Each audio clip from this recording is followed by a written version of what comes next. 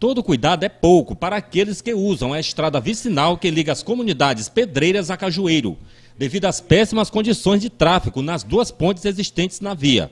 No local é possível notar claramente os problemas estruturais que traz riscos aos usuários. A primeira, a preocupação é com a distância entre as bases de sustentação na parte de baixo.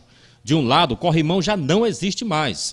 Rachaduras também são vistas nas paredes de concreto usada como sustentação do aterro. Se persistir o problema, corre o risco de desabamento.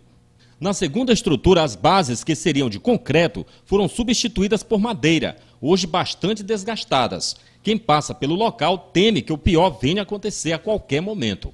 Como é que o senhor vê essa situação aqui? Rapaz, essa situação aqui fica crítica, né? Que pelo agora ainda tá bom que tem aquele rodeio por ali. E aí quando for no inverno, por onde a gente vai passar com essa ponte desse jeito, o que nós precisamos é que nosso prefeito mandasse ajeitar enquanto tem tempo. Porque se eu quero tomar providência quando não tem jeito, é no inverno que tá tudo mole, que eles querem ajeitar. Agora que é o tempo de ajeitar aqui pra gente poder, que essa aqui é uma estrada principal, que serve, serve pro Jiquiri, que agora mesmo o ônibus está passando por aqui, o escolar está passando direto por aqui. Vem por areia, passa por aqui e tomar providência enquanto tá, a gente pode ajeitar aqui. Eles podem mandar ajeitar. Aqui está tudo seco. Depois que tiver tudo cheio que eles quiserem ajeitar, não tem mais jeito, porque fica tudo mal feito. A estrada liga várias comunidades com a BR-135 até chegar na sede do município. A preocupação dos moradores é com a chegada do inverno, que tende a piorar ainda mais a situação. Você como morador, líder comunitário aqui da, da, comunidade Pedreiras, como é que você vê essa situação aqui? As duas estruturas aqui que, que comportam a ponte estão tá nessa situação. Vocês pedem providência das autoridades? Rapaz, é o seguinte, é, as pontes tá meio precárias.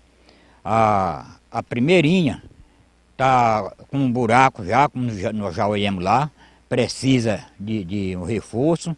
E o tempo de fazer é esse, ele está precisando duas é, pilar de concreto. A gente precisa do, do, dois lá. E aqui a gente precisa de um também. Eles botando dois lá, aí fica, fica melhor de gente lutar, porque o tempo de fazer é agora, que daqui mais uns dois dias a água pega a chover e aí não tem como eles trabalhar. O tempo trabalhar é agora. E aí a gente está aguardando aí, esperando aí a vontade deles aí, que eles têm que ajeitar essas pontes, que é para onde a gente anda, para a roça, é para todo lugar por aqui. Se for bloqueada realmente, não der mais condições de andar, para tudo? É, se não der mais de andar, para tudo. Aí como é que a gente vai para a roça, passar no caremão cheio?